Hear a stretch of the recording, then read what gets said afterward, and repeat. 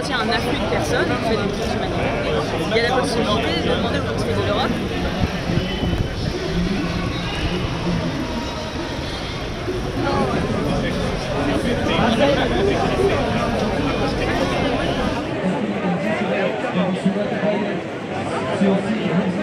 Yeah. Pour ces raisons, l'ensemble de la ramener une paix durable et la sécurité en Afghanistan afin que le peuple afghan